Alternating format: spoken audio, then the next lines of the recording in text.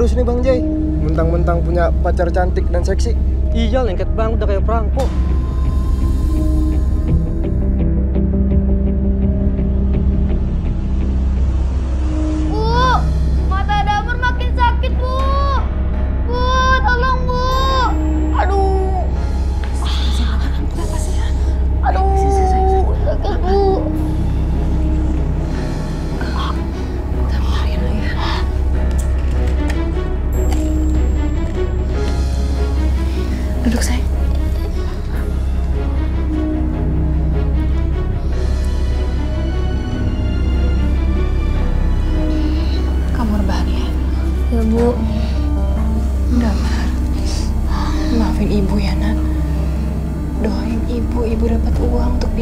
Pengobatan kamu ya.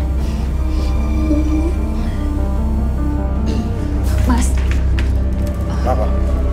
Mas tadi ada teman aku datang ke sini. Terus dia bilang "Ah, ada kerjaan jadi pembantu di kota. Aku boleh nggak ke sana? Ya terserah kamu pergi-pergi aja. Tapi Damar siapa yang ngurus?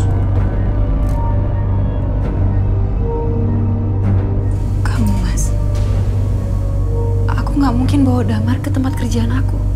Aku yang urus. Urus anak itu tugas ibu, bukan bapak. Gimana sih kamu? Hmm. Kalau mereka pergi, aku bisa bebas bersama Mona tercinta. Ya udah. Mau pergi. Tapi dapat mau bawa. Ya. Dan bawa uang banyak.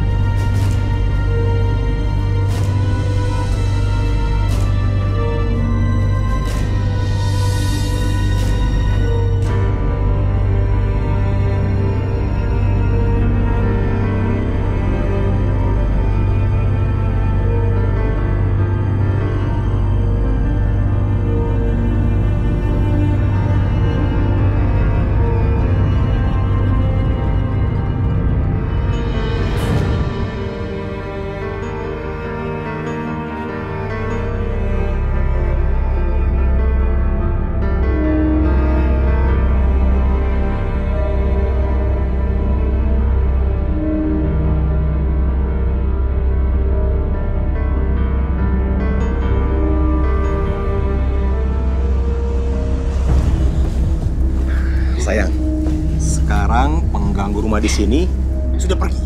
Kita bebas. Iya,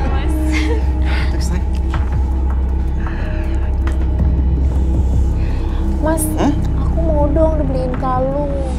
Ya? Oh, tenang. Kalung aku beliin yang bagus. Asal satu, kamu harus setia sama aku. Oke, sayang? Aku pasti setia sama kamu. Oke.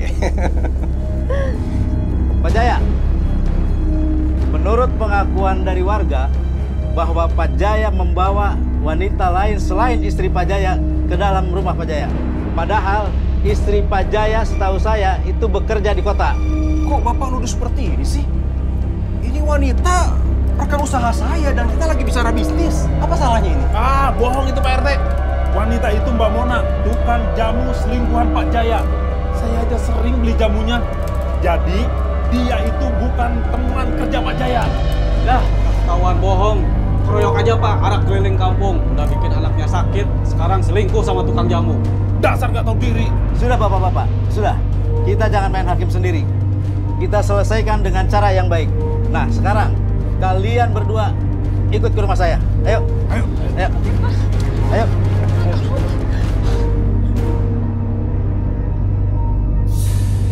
Assalamualaikum.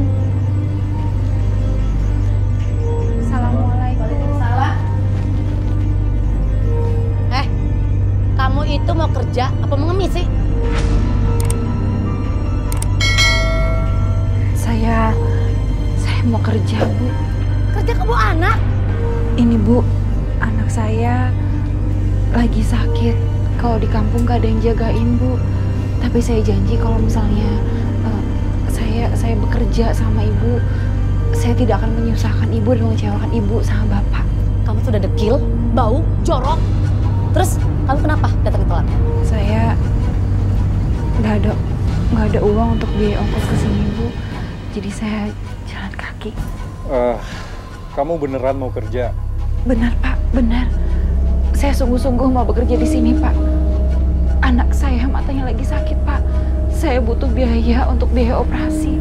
Sangat banyak. Jadi saya benar-benar, saya benar-benar butuh kerjaan pak. Anak kamu matanya busuk ya? Enggak, enggak, enggak.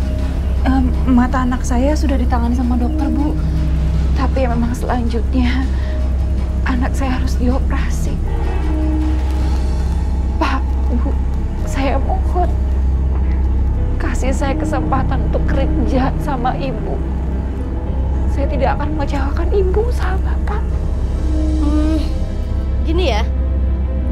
Saya emang butuh pembantu di rumah ini. Tapi saya nggak butuh benalu. Kalau kamu kerja, bawa anak dan mengganggu kerjaan kamu, saya nggak segan-segan mecat kamu ya. Au. Enggak, Bu, enggak. Saya janji, Bu. Saya janji.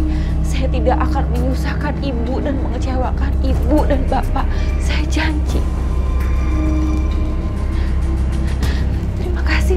Terima kasih, Pak. Terima kasih, Bu.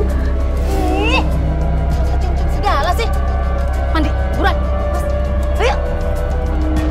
Buruan, lama banget. Kamu itu bikin aku malu ya. Gara-gara kamu nama aku jadi jelek. Kalau sampai dia mau berlaku, pokoknya semuanya salah kamu.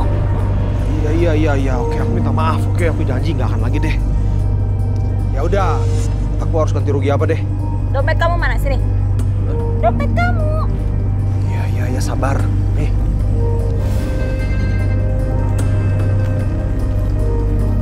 Ini masih kurang ini. Mana lagi? Sayang, uangku udah habis. Buat kamu semua. Buat nonton, makan, jalan-jalan, shopping. Ya kan? Istri kamu kan kerja, kenapa nggak mau minta aja sama dia?